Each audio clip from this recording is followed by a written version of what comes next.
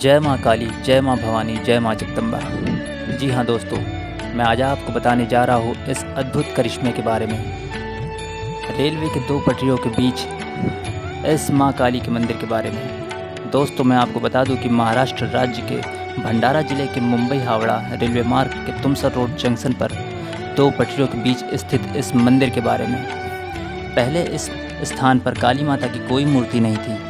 यहाँ संपूर्ण गाँव द्वारा पूजी जाने वाली देवी माँ की शिलाएँ थी। जब रेलवे के बंगाली कर्मचारियों ने अंग्रेज़ों के आदेश पर देवी की मूर्ति के पत्थर को हटाने की कोशिश की, फिर भी वह नहीं हिली।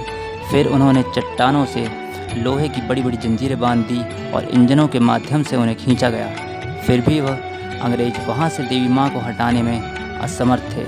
उस समय उन्हें काली माता के सामने झुकना पड़ा था और बाद में इस मंदिर का निर्माण कराया गया।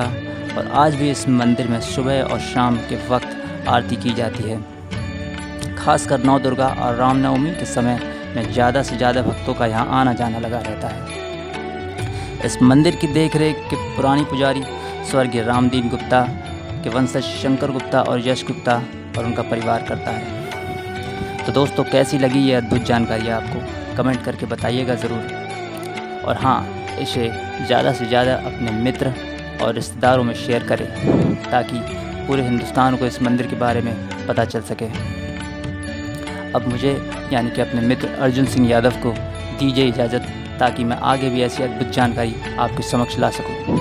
जय माँ काली